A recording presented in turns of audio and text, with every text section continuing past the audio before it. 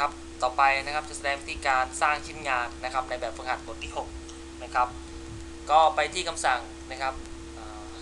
new document นะครับ เลือกนะครับ design นะครับ เลือกเทมเพลตที่ชื่อว่า training top solid 2011นะครับ เสร็จแล้วคลิกโอเคนะครับ ต่อมานะครับ เสร็จเรียบร้อยแล้วนะครับ ไปที่คำสั่ง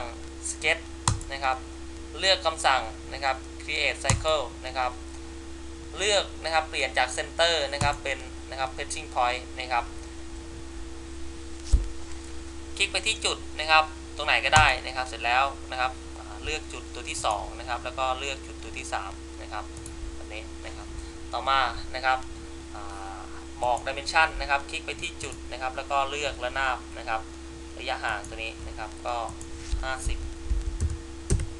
นะครับ ทษทีนะครับต้องเป็น25นะครับนะครับ แล้วก็จุดที่2นะครับแล้วก็ระนาบในแนวแกน y นะครับพิมพ์25นะครับนะครับ เสร็จแล้วนะครับไปที่คำสั่งนะครับ constraint นะครับเลือกคำสั่ง alignment นะครับเลือกจุดนะครับที่ 1 จุดที่2นะครับเลือก stop นะครับอ่า ผมต้องการนะครับให้จุดที่ 1 กับจุดที่2เนี่ยอยู่ในระนาบแกน x ก็คือให้จุดมันเท่ากันนะครับ ก็เลือก along y อ่าโทษทีนะครับ along x นะครับเสร็จเรียบร้อยแล้วนะครับนะครับอ่าสังเกตนะครับชิ้นงานเนี่ยยังเป็นสีส้มอยู่ก็คือเราสามารถที่จะเลือกคำสั่ง move per length เนี่ยนะครับคลิกไปที่จุดแล้วก็ลากนะครับแบบนี้ได้นะครับก็เดี๋ยวเรามาบอก dimension ที่หลังนะครับ เอาแค่นี้ก่อนนะครับ เสร็จเรียบร้อยแล้วเนี่ยนะครับ ก็นะครับจบด้วยคำสั่ง in sketch นะครับ ต่อมานะครับไปที่คำสั่งไปที่เมนู curve นะครับ เลือกคำสั่ง thicken นะครับ พิมพ์ความหนาเท่ากับ 2 enter นะครับ เลือกนะครับเป็นลายนะครับ เสร็จแล้วคลิกไปที่เส้นนะครับ นะครับเสร็จแล้วคลิกโอเคนะครับนะครับต่อมานะครับผมเปลี่ยนสีชิ้นงานนิดหนึ่งนะครับ เปลี่ยนเป็นสีดำแล้วกันนะครับคลิกเส้นนะครับต่อมานะครับเสร็จแล้วนะครับ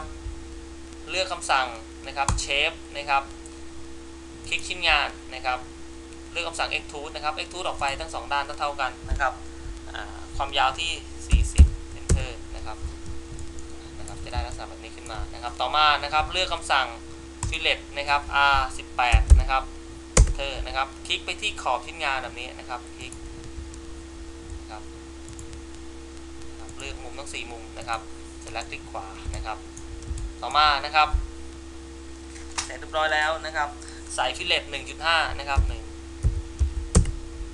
ครับ คลิกไปที่ครับของชิ้นงานด้านบนด้านล่างนะครับ คลิกขวานะครับ ก็จะได้ นะครับชิ้นงานที่เป็นลักษณะแบบนี้ขึ้นมานะครับ ต่อมานะครับเสร็จเรียบร้อยแล้วนะครับ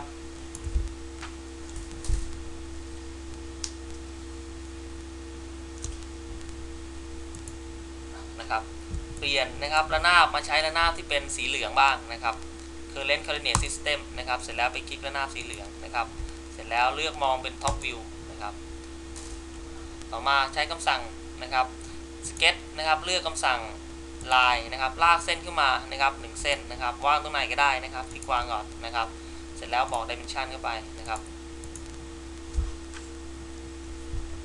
ความยาว 35 นะครับ เสร็จแล้วนะครับเลือก symmetry constraint นะครับเลือกระนาบแกน y นะครับ ก็จะได้มีเครื่องหมายเท่ากับก็คือได้กึ่งกลางเท่ากันแล้วนะครับ ต่อมานะครับเลือกคำสั่ง constraint นะครับเลือกคำสั่ง alignment นะครับ คลิกไปที่เส้นนะครับสีส้ม นะครับ เสร็จแล้วไปคลิกที่ระนาบนะครับ แกน x นะครับ ก็เลือกระนาบแกน x นะครับนะครับ ก็จะวิ่งเข้ามานะครับ ทับระนาบแกน x นะครับ ต่อมาจบด้วยคำสั่ง end sketch นะครับ เสร็จเรียบร้อยแล้วนะครับ ไปที่เมนู Curve นะครับ เลือกคำสั่ง Thicken นะครับพิมพ์ความหนาเข้าไป 5 Enter นะครับ เลือกเป็นนะครับ Cycle นะครับ Outside นะครับ เสร็จแล้วคลิกไปที่เส้นนะครับ เส้นตรง เสร็จแล้วคลิกโอเคนะครับ ต่อมานะครับ เสร็จเรียบร้อยแล้วนะครับ หมุนชิ้นงานนิดหนึ่งนะครับ ต่อมานะครับทำการ Copy นะครับเส้นนะครับ โดยไปที่คำสั่ง edit duplicate นะครับ translation นะครับ เลือกทิศทางนะครับ ก็คือผมต้องการ Copy นะครับ เส้นนี้ขึ้นไปด้านบนก็คือ z บวกนะครับก็เลือก z บวกพิมพ์ 20 Enter นะครับแล้วเสร็จแล้วไปคลิกที่เส้นนะครับ ต่อมานะครับ เลือกคำสั่ง boss นะครับ อยู่ในหมวดของ shape นะครับ เลือกคำสั่ง boss นะครับ เลือกนะครับ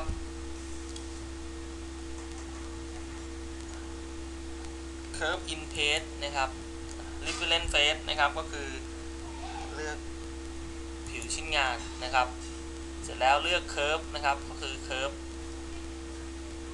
ด้านบนนะครับนะครับ เสร็จแล้วนะครับ คลิกโอเคนะครับ ก็ใส่ตัวเลขนะครับ ตามในหนังสือนะครับ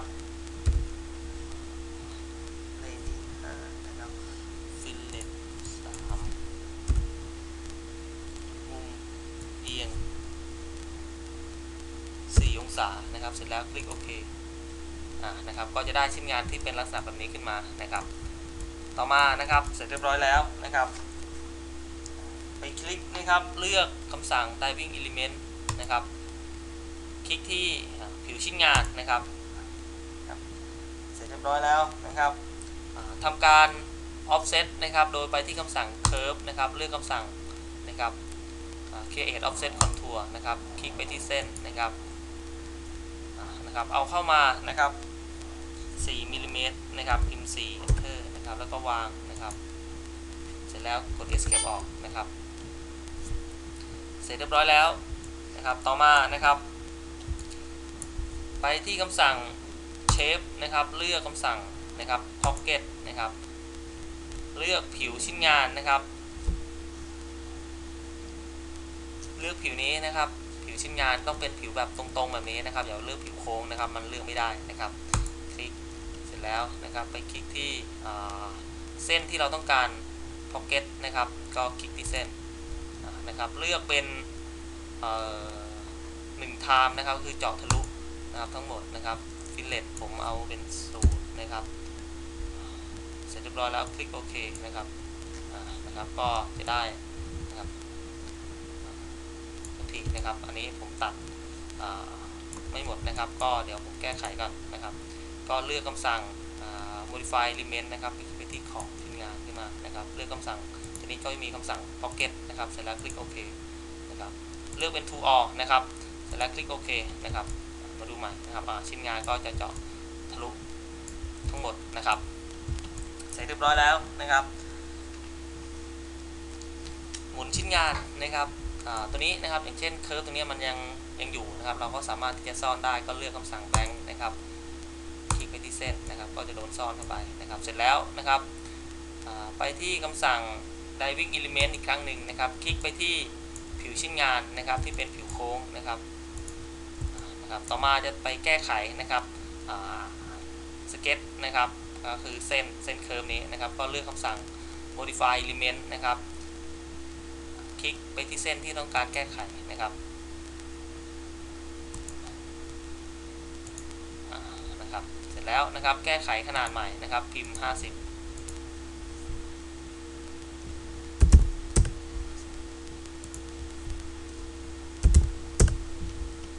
แล้วก็บอกระยะความสูงนะครับ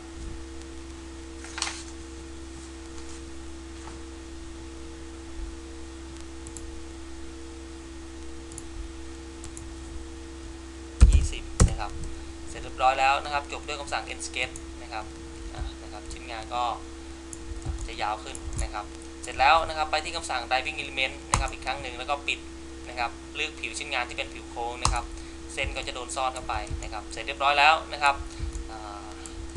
ไปแก้ไขใหม่นะครับ ก็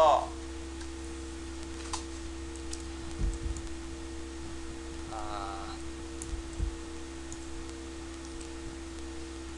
นะครับหมุนชิ้นงานนะครับ เสร็จแล้วนะครับไป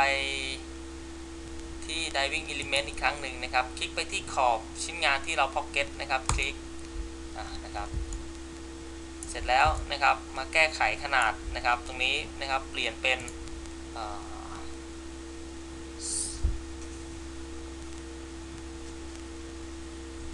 นะครับมาแก้ตรงนี้ก่อนนะครับ เลือกคำสั่ง modify element นะครับ คลิกไปที่เส้นนะครับ เส้นตรงนี้ก่อนนะครับโอเคนะครับ ปรับความายาวตรงนี้นะครับ ให้เหลือ 25นะครับ จบด้วยคำสั่ง end sketch นะครับ ต่อมานะครับ ก็ปรับนะครับ